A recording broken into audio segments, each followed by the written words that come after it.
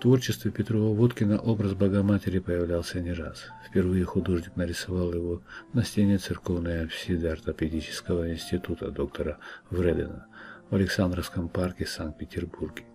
Затем в соборах Кронштадта и Сум, которые расписывал в 1913-1915 годах. Но, пожалуй, наиболее знаковым он получился на картине «Богоматерь. Умиление злых сердец». Представленный на холсте лик восходит к православной иконографии, довольно известному сюжету умягчения злых сердец. Так называется образ, у которого просят о милости и примирении для враждующих в годы смуты, войн и гонений. Икона настраивает человека на бережное отношение к миру и ближним.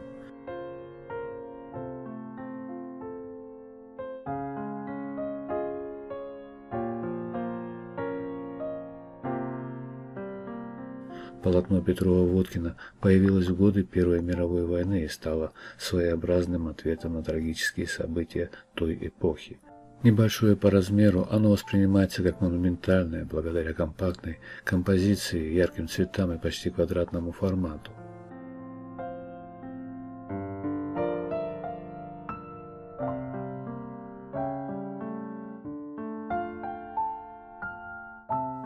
Голова Богоматери покрыта ярко-красным платком, резкие, почти геометрические складки которого оттеняют мягкий абрис лица. Жестом руки Богородица стремится усмирить и успокоить враждующих и благословить тех, кто глядит на нее. Ее задумчивые глаза словно вбирают в себя весь внешний мир, а постановка головы намекает на то, что она склоняется навстречу человеку. В сине-голубом фоне сталкиваются грани полупрозрачных плоскостей и проступает едва заметный ним. В этот же цвет окрашена и туника.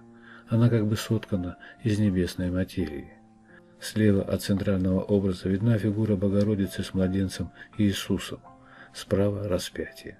Вписанные в сферу нимба эти символы получают особое прочтение, которое связано с цикличностью происходящих в мире событий. Все так же Божья Матерь жертвует своего Сына во искупление человеческих грехов, и все так же люди распинают Его.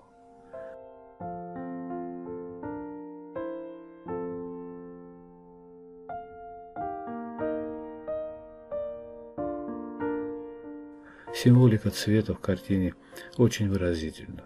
Художник возвращает краскам их первородную яркость и эмоциональное звучание.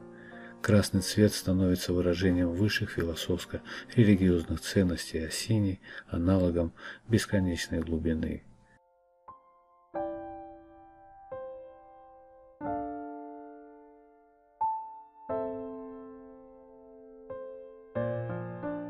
Из-за обращения к вечным ценностям, а также интереса иконописи и символизму советская власть не особо жаловала Петрова-Водкина – После смерти в 1939 году художника почти забыли. Заново интерес к имени живописца, его дарованию и творческому наследию проснулся только в середине 1960-х годов.